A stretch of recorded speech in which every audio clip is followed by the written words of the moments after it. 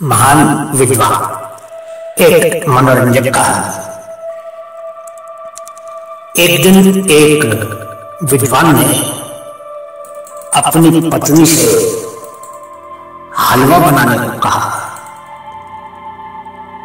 पत्नी ने खूब काजू बादाम डालकर बहुत ही स्वादिष्ट हलवा पका दिया और विद्वान को दे दिया।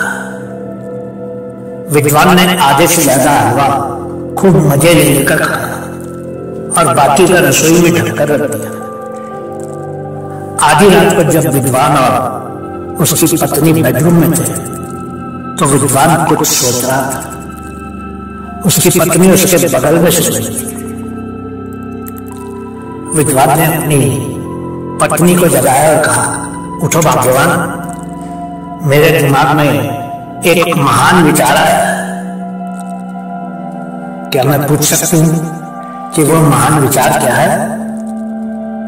वो बाकी का बचा हुआ हलवा ला दो तो मैं तुमको बताता हूँ कि वो महान विचार क्या है।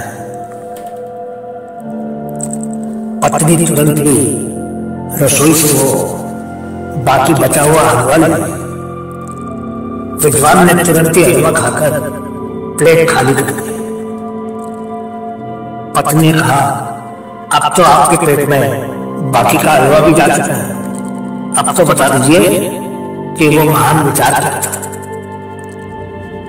विद्वान ने मुस्कुराकर कहा, वो महान विचार था कि दिन के समय पकाए गए और खाए गए हलवे के बाकी बचे हुए हिस्से को बिना खाए रात को कभी भी नहीं सोना चाहिए।